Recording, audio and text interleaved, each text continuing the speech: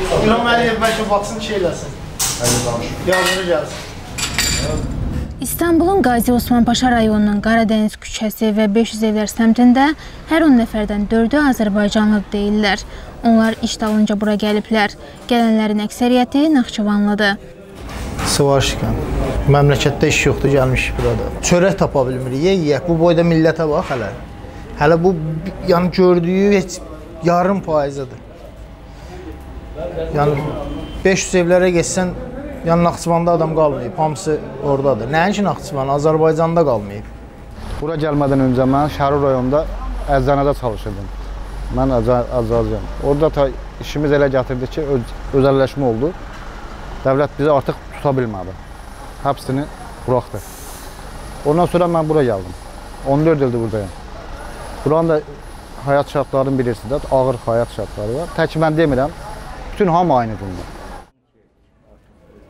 Azərbaycanlılar burada əsasən tikiş fabriklərində və inşaat sektorunda işləyirlər. Onlar minimum əmək haqqından da aşağı maaş alırlar. Türkiyədə minimum əmək haqqı 2000 lirə, Azərbaycanlılar isə burada 1000-1200 lirə maaş alırlar. Yaşayışımız belədir, işləyən yaşayır, işləməyəndə ki, belə də gər otur, domra oynayır.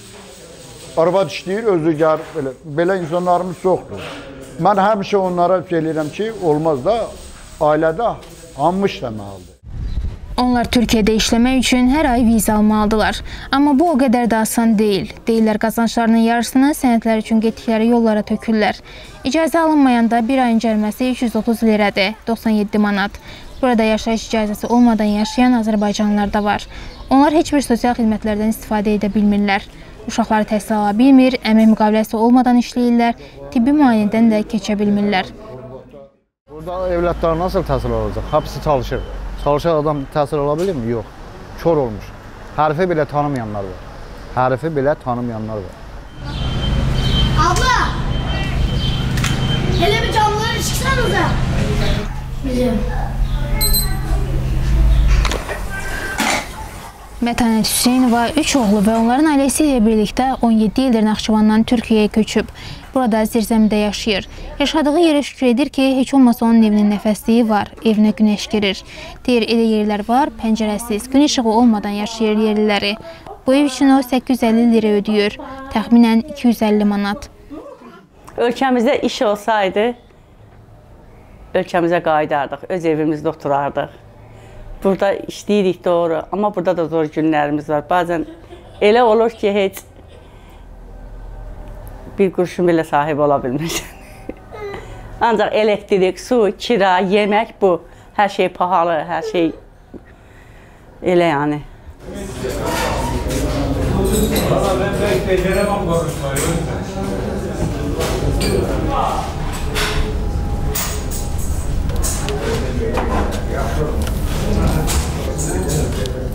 Azerbaycan halkının dertlerini dinlediniz. Bakın bizim bir Atatürk'ümüz var. Bütün dünya tanıyor. Atatürk'ün bize vermiş olduğu bu haklar kadar en azından geçmiş dönemlerdeki Mehmet Emin Resulzade kadar İlham Aliyev de bu halka biraz olsun yani bir nokta olsun bir hak verse bu insanlar vatanlarını terk edip gelmeyecekler. Yokluktan, kıtlıktan geliyorlar.